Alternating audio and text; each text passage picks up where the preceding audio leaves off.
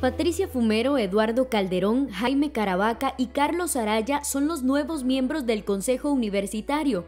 Ellos estarán en funciones a partir del 1 de enero del 2022 al 31 de diciembre del año 2025.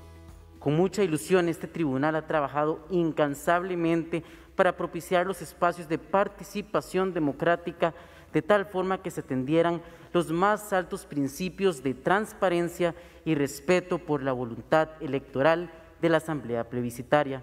Cerradas las urnas electrónicas de votación, es propicio reconocer el trabajo que también han realizado las personas candidatas y su ánimo por una contienda de altura. A partir del año próximo, los cuatro nuevos miembros representarán las áreas de artes y letras, ingeniería, salud y las distintas sedes regionales. La mayor victoria y la cual nos debe llenar de mayor orgullo y emoción es para nuestra prestigiosa Universidad de Costa Rica, pues en manos de quienes hoy han favorecido los votos estará gran parte de la toma de decisiones que en materia reglamentaria y de política institucional se gestará en nuestra universidad por los próximos cuatro años.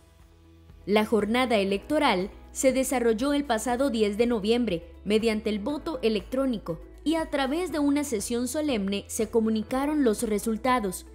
En las elecciones participaron 1.958 personas de un padrón de 2.341 electores.